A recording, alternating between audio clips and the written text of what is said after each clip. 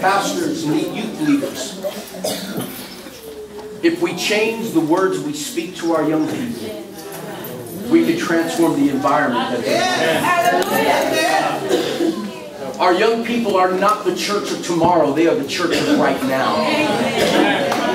I stood in front of my congregation years ago and I got together with my leadership and I made this plea. Please don't let my church get old. Don't, listen, don't let my church get old. It doesn't mean we don't value the elderly. It doesn't mean that we don't value the mature. It doesn't mean that we're not valuing the, the, that generation that, that paid the price. What it means is that we have to be willing to make changes and create an environment that our young people can grow up in. I was raised in a church that spoke a language I didn't understand. And all I got told was sit down, be, just sit there, pay attention and listen. They didn't want my opinions. They didn't want what I brought to the table. It was, they didn't want me until I was shined up and pretty. After I went to Bible college, started ministry, and the ministry started growing, then they said, would you come back and be our youth pastor? no. I'm not going back to Egypt.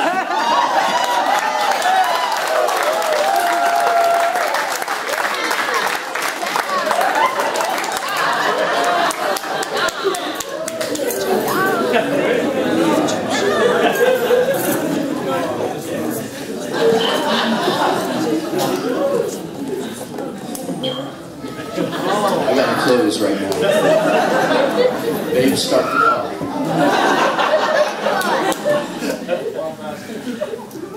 Lock the door.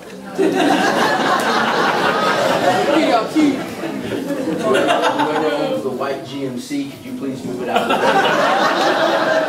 My brother's going to need to leave.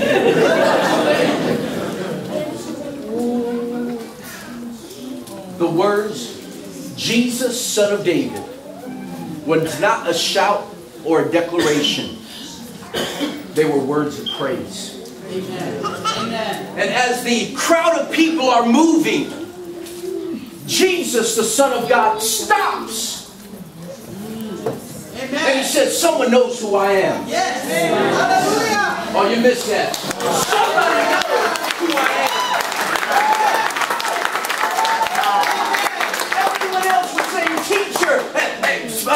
Rabbi, would you stop? Would you, would you stop? Could you, could you explain this? Could you heal this? Could you do this? But in the background, he hears, Jesus, son of David. Amen. And Jesus stops in his tracks. Ah, yes. Somebody here knows who I am. Mm, it's powerful. Hallelujah. I'm here to tell you that there is a praise that you release. Yes. That in a crowded room like this, God will stop Amen. When you recognize who he is. Yeah. Hallelujah. He will stop what he's doing and come right next to you and say, What's up, son? What you need? I want you to notice what happens here. Jesus stops and says, Bring him to me. Now, I love Jesus. I think Jesus is pretty messed up. They're in a crowd of people and the man's blind. And instead of Jesus going to the blind man, he tells the blind man to come to him.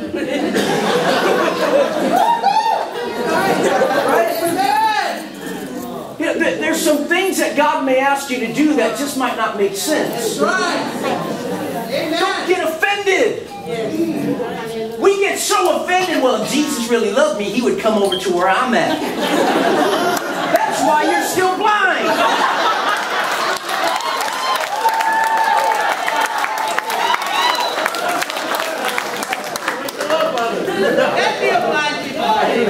If you really want to get healed, if you really want to get healed, you'll, you'll obey the instructions. That's right. And so many of us are still in our blindness and in our bondage because you don't want to do what God's telling you to do. Amen. You want God on your terms. It don't work that way. Jesus says, bring him to me. And I want you to know what he does. God stops and he gets up his place. That's right. This is a place that he's taking care of. This is his, his, his special place. This is where he makes money. This is his business. But he does something. Listen, according to science and physics, two objects cannot occupy the same place. Right. You cannot receive something from God until you let go of something. Oh, you're going to get it in a moment. The Bible says this that, that Jesus calls him and he gets up and he takes off his garment. Not going to end up in his underwear. But he takes off his garment. Ah. And the Bible says that he cast it Yes. aside. Why, why would he do that? Because it, identify who he is.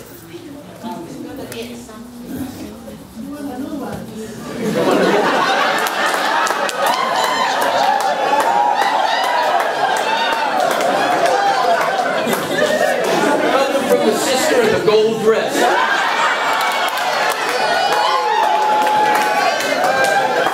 Come on, sister, all about clothes. But you look good, don't you? But listen to me. In the Roman society, they wouldn't let just anyone bathe. Otherwise, they would have babies all over the place.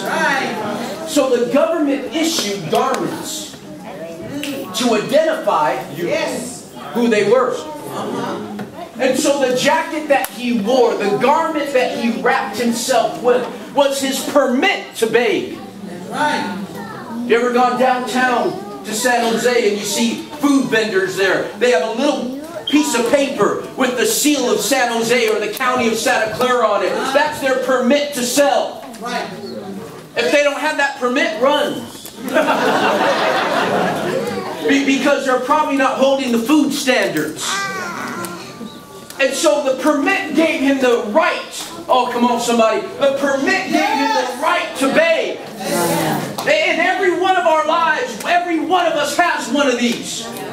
Every one of us has a permit that we carry around. We have a permit that gives us the right to beg. We have a permit that gives us a right to be upset. A right to say, God, you didn't meet my need. God, I'm not going all in. We all have a permit, something that we can point our finger at God and say, you let me down. Come on, young person. That molestation wasn't your fault, That's right. but you got your permit. Wasn't right. The fact that your parents divorced, it wasn't right, but you got a permit now. Oh, hear me this morning. Amen. Hear me, somebody. I got a permit. One year after we planted our church in San Jose, my daughter died of leukemia.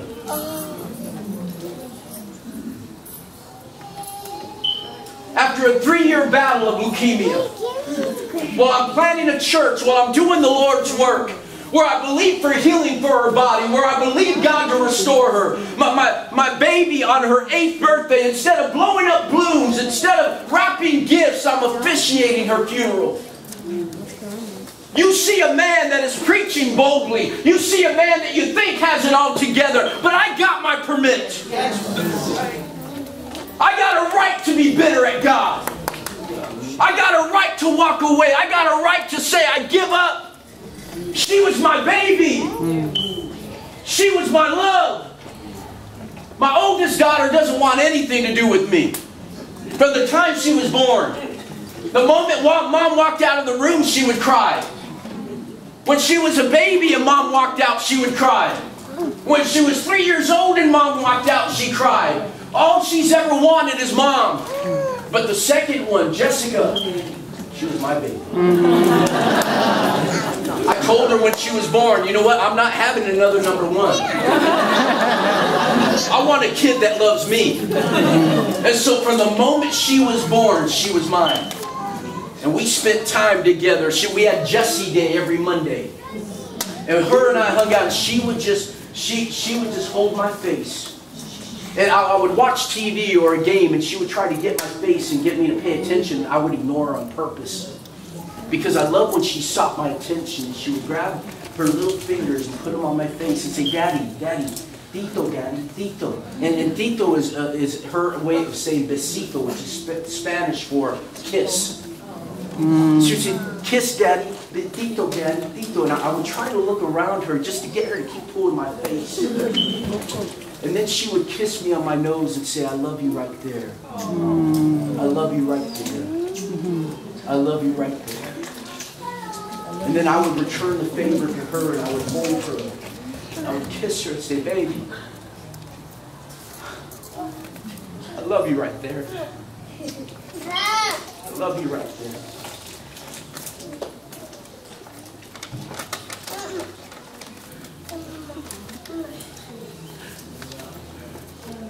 I got a permit. Every one of you in this place has a permit. Amen. You all have a permit. But Bartimaeus knew something. I can't get something from God until I let go of my permit to beg.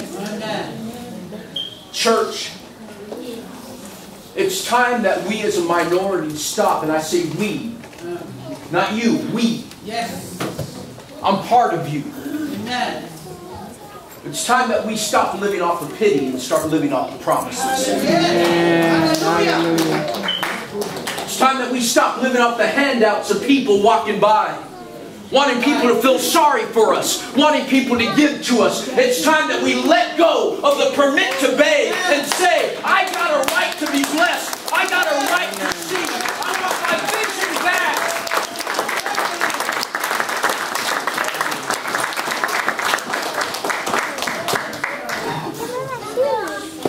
I'm sorry, someone could help me on the keyboard. Bartimaeus comes face to face with Jesus. This is where I close. I apologize for taking so long. It's okay. Comes face to face with Jesus. And Jesus asks him a question, Pastor. He says, What do you want me to do for you? Really? What do you want me to do for you? I'm blind. But Jesus doesn't jump to assumptions. He wants to hear from Bartimaeus, What do you want from me? I'm convinced that it's not that God doesn't want to bless us, it's just the fact that we don't know what we want from Him. Say it again, Pastor. What do you want me to do for you, Bartimaeus? Notice Jesus doesn't kind of call him blind. He says, What do you want from me?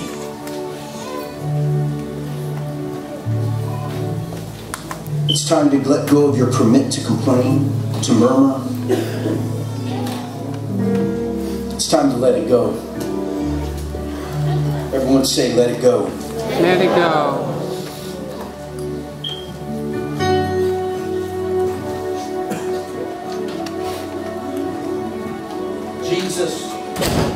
Looks at Bartimaeus and says, What do you want me to do for you? Bartimaeus has his genie in a bottle right now. One wish.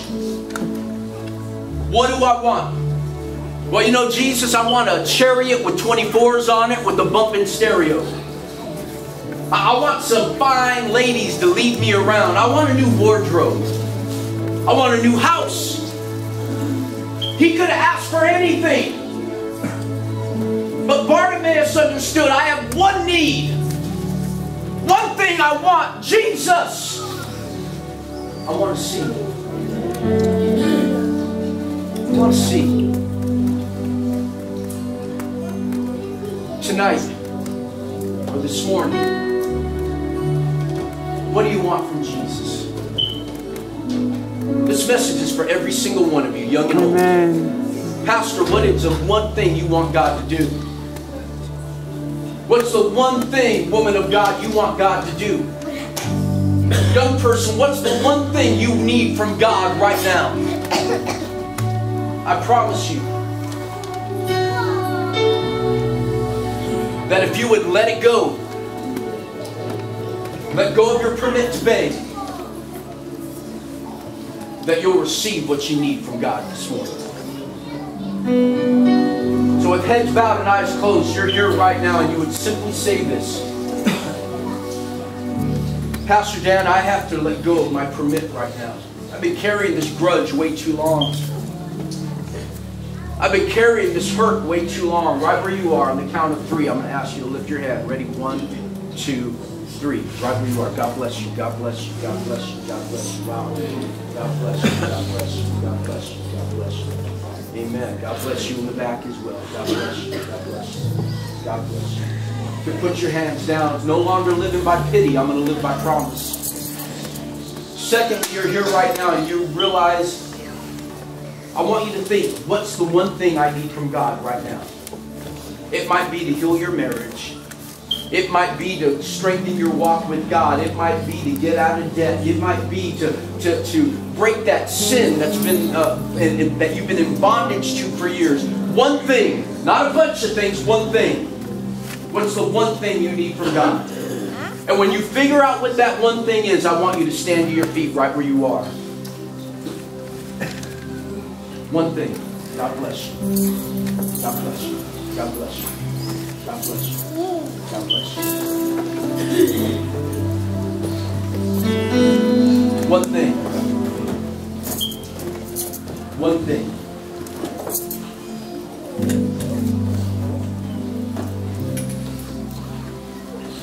Now I'm going to ask for those that lifted your hand on the first call to join those that are standing right now.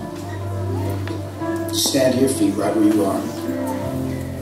Those of you that raised your hands on the first call.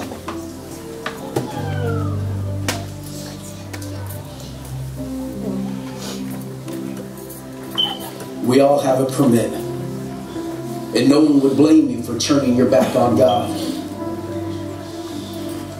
My mom told me when it happened she was so afraid that I would leave ministry after my daughter died. And I told my mom there's no way I would leave God. I can't. Because heaven now becomes so much realer to me.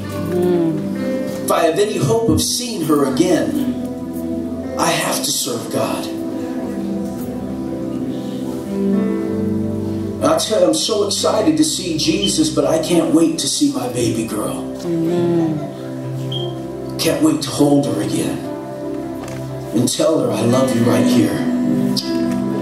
I love you right there. I love you right there. No more pity. Let's live by promise. These altars are open. I'm going to ask you to make your way out of your seats. Let's find a place to spend some time before God for a moment. As the worship team leads us in the song this morning,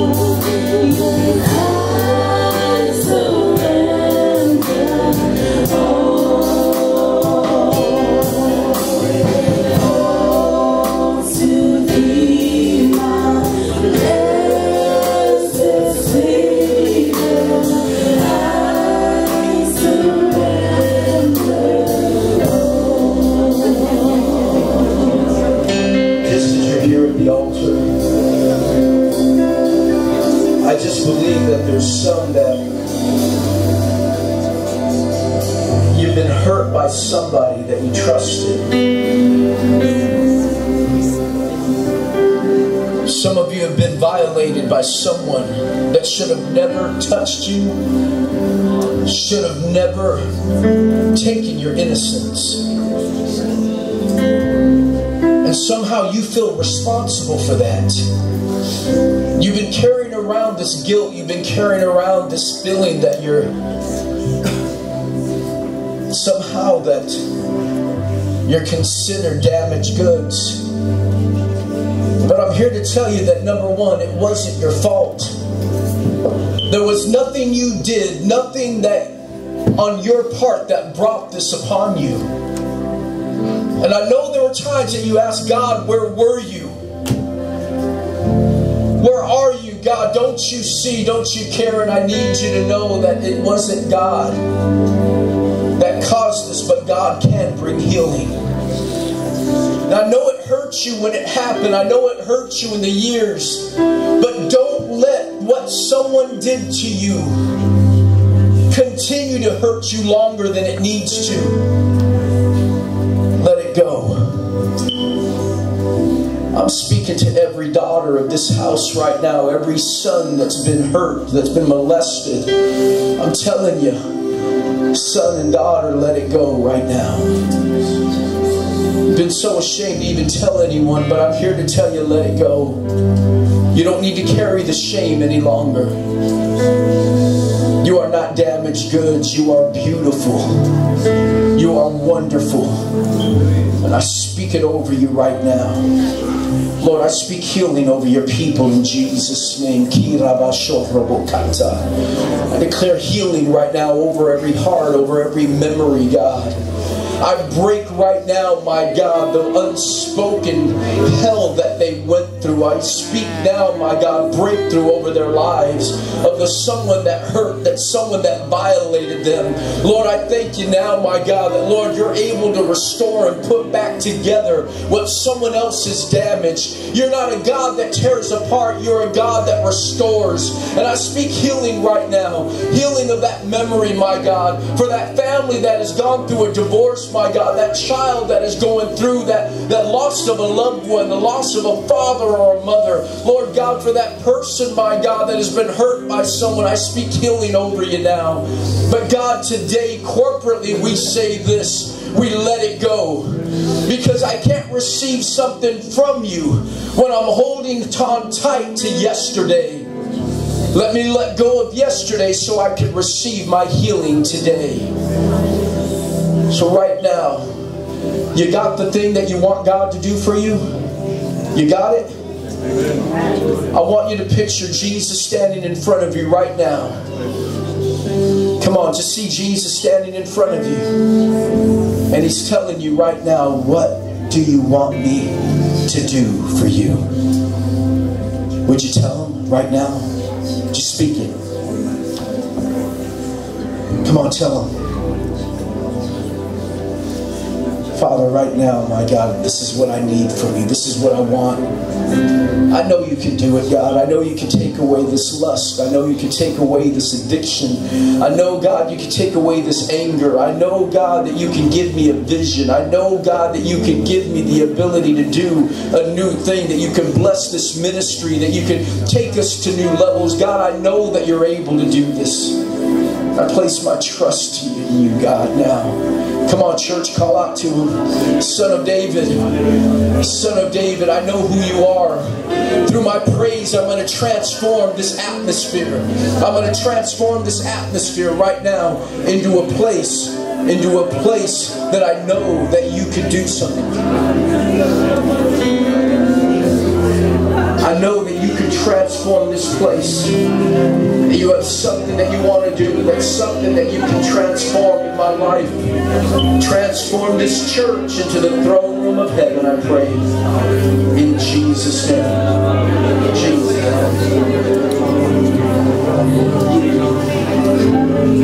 We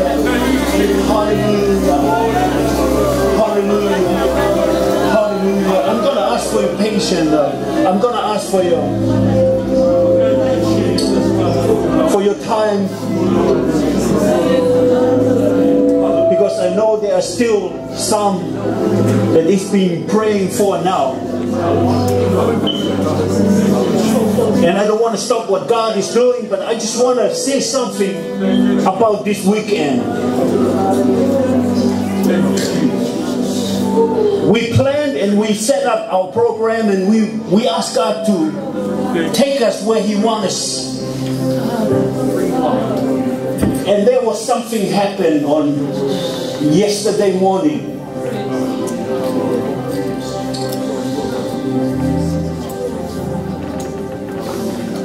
That God showed up. There were about maybe 15, 20 people up here in the front, and they were crying and praying unto God, and, and we can't stop them. And all of a sudden, as we praise and worship God, and every, you know, more people joining them, and they pray and, and uh, seek the presence of God here, and we end up finishing our program right there in the presence of God.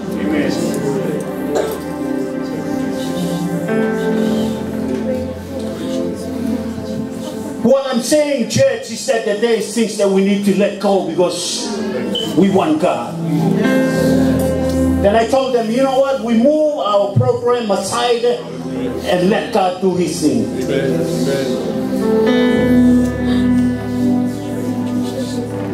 And I thank God this morning because He is still doing what He wanted to do in this in this camp. And I just want to allow Him that He may finish His work in your life, young people. And I think even to this moment, it's not only the young people, but for us parents. I think for us pastors, for us leaders, uh, that God is really speaking into our hearts that we are to wake up and notice that there are things that we need to let go if we want to be connected with God. If we want it to be restored, if we want it to be revived in the work of the Lord, there are things that we need to let go. And I thank God this weekend that God did it His way.